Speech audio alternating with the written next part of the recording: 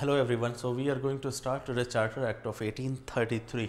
So as has been format, the first question that we raise as always is why this act came in 1833. So and uh, the obvious answer is that because it had to renew the charter of East India Company which is expiring in 1833 right 1830 thirteen में if you remember East India Company का जो charter था वो parliament plus monarch ने twenty uh, years के लिए extend किया था and if that charter has to be renewed right तो वो 1833 में कोई एक्ट से रिन्यू करना पड़ेगा। That's why this act is coming in 1833 and not in 1834 और 1832 राइट इट्स जस्ट कि भाई uh, जब एक्ट एक आ रहा है तो there may be other provisions other governance and administrative provision that can be up appended with that act, right? So the first answer is to renew the charter of British, uh, sorry, East India uh, Company, right? Now the first provision, that provision that we discussed renewing of charter that I have put on the next slide, right? So, so the first provision of this act is that designation of Governor General of Bengal remember governor general of Bengal की designation कब मिली थी governor general को? In 1773 right now that designation is again being changed to governor general of India ऐसा क्यों कर रहे हैं? Because from 1773 till 1833 East India Company के पास बहुत सारी टेरिटोरियल पोजिशंस आ चुकी हैं। You have Mysore you have Awadh you have almost Delhi तक आप जाके पहुँच चुके हो। पूरा मराठा जो एम्पायर है, ठीक है, वो सब तो ऑलमोस्ट टेरिटरीज बहुत ज़्यादा हो चुकी हैं इनके पास। तो गवर्नर जनरल ऑफ़ बंगाल जब आप बोलते हो किसी हेड ऑफ़ स्टेट को right because governor general of Bengal was heading all these presidencies and all these provinces right तो एक जो उसका सिम्बोलिज्म होता है, वो बहुत छोटे से एरिया का होता है right and because now your spread is all over India almost minus princely state जो कि अभी तक इंडिपेंडेंट है कुछ प्रिंसली स्टेट्स तो minus that area you do have geographical spread जो है काफ़ी ज़्यादा हो गया है। इस वजह से गवर्नर जनरल ऑफ़ इंडिया उसको बोला जाता है। तो गवर्नर जनरल ऑफ़ बंगाल की जो डेजिग्नेशन है first thing is that that is change to governor general of India. And कौन सबसे पहला गवर्नर जनरल ऑफ़ इंडिया होगा? That is lord William Bentinck lord William Bentinck को आप एक सेपरेट ली पढ़ सकते हो एज अ सोशल रिफॉर्मर ठीक है? राजा राम मोहन रॉय के साथ मिलके बहुत सारे सोशल रिफॉर्म को, के लिए लॉज और legislation he was a utilitarian in himself ठीक है? लॉर्ड मैकॉले के साथ भी मिलके एजुकेशनल रिफॉर्म्स कई सारे इसने किए थे राइट तो that can be a separate topic in history ठीक है? तो आप लोग इसको थोड़ा सा पढ़ना इनको ठीक है? ये है लॉर्ड डलहौजी हैं ठीक है? यू हैव लॉर्ड कॉर्नवॉलिस ठीक है? तो इन सब तीन चार uh, जो गवर्नर जनरल ऑफ़ इंडिया या गवर्नर जनरल ऑफ़ बंगाल हैं, जो इंपॉर्टेंट है ऑफ़ कोर्स वॉइस रॉय वगैरह तो सारे ही इंपॉर्टेंट है, ठीक है? लॉर्ड लेटन रिपन कैनिंग ठीक है? लेकिन ये सब जो हैं, जो ये तीन pre eighty fifty eighteen fifty eight वो तीनों इंपॉर्टेंट हो जाए तो इनको सेपरेटली आप पढ़ लेना। Now bouncing back to our act centralization in legislative domain अब इसका क्या मतलब है? See the thing is that legislative parts जो हैं, अभी भी प्रेसिडेंसीज के पास थी, ठीक है? बंगाल अपनी जो लेजिस्लेशंस है, वो अलग डिज़ाइन करता था। You had Madras and Bombay which was independent and अपनी लेजिस्लेशंस वगैरह जो है, वो डिज़ाइन कर रहा था right but what this act uh, does is just in attempt to bring uniformity in legislation all over India in that attempt it deprives the other two presidencies that is Madras and uh, uh, Bombay of its legislative powers. और वो legislative power जो कि अभी deprive कर रहा है, उसकी वजह से इसको सेंट्रलाइजेशन का एक्ट बोला जाता है, ठीक है? Again in act itself officially this word centralization was never use but it is our interpretation कि भाई जब आप किसी के पार्स से डिप्राइव कर रहे हो, किसी को लेजिस्लेटिव पार्ट से so that act can be called centralization act of centralization और ये फिर रिस्टोर कब किया जाता है इस पार को?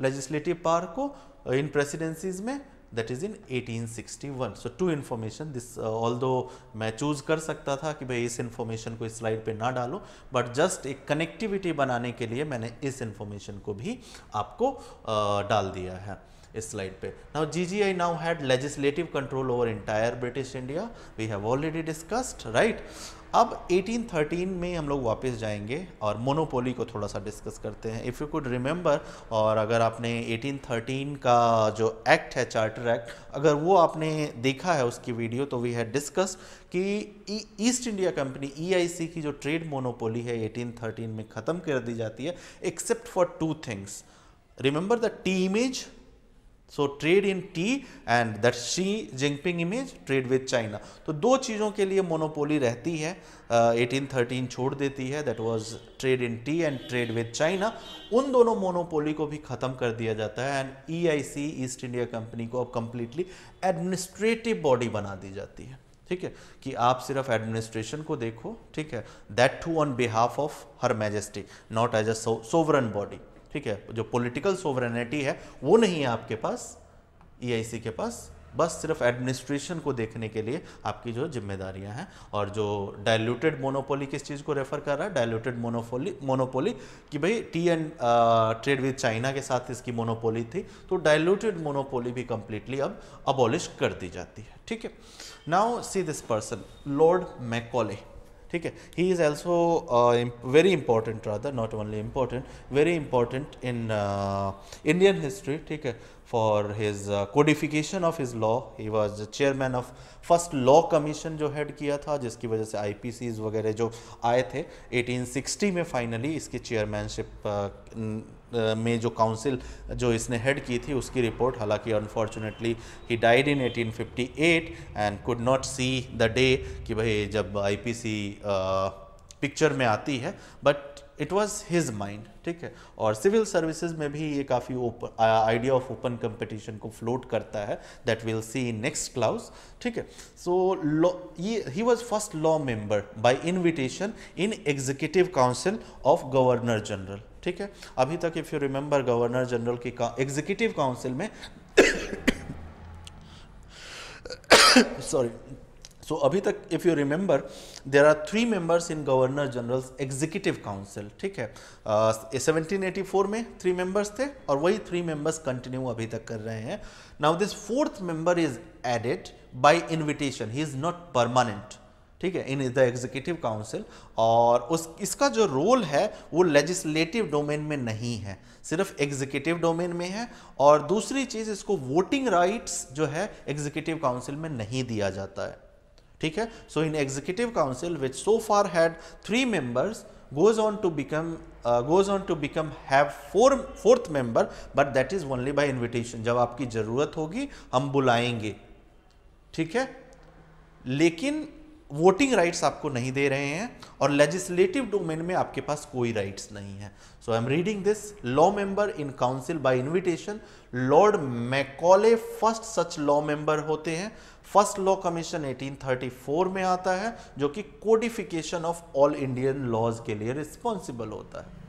Clear now fifth provision idea of open competition in civil services. हालाँकि ये आइडिया ऑफ़ ओपन कंपटीशन जो है, वो मेटेरियलाइज नहीं हो पाता है because of vehement opposition by court of director because remember court of director जो है, वो सिविल सर्विसेज़ में उनकी पैटर्नेज है सिविल सर्विसेज़ की अपॉइंटमेंट में इंडिया में, ठीक है? So they would never like to lose this authority ठीक है? तो लॉर्ड मैकॉले जब बोलते हैं कि भाई सिविल सर्विसेज़ में अपॉइंटमेंट का बेसिस पैट्रोनेज नहीं होना चाहिए मेरिट होनी चाहिए और we should allow Indian also to participate so that we can have merit rather than patronage तो उसको court of directors vehemently oppose करेंगे एंड विल मेक श्योर कि दिस क्लाउज इज़ नेगेटेड और डिलेड अंटिल 1853 और 1853 में आप finally देखोगे कि uh, जो patronage system court of director का है वो कम्प्लीटली ख़त्म होता है कम्प्लीटली एलिमिनेट होता है एंड इट इज़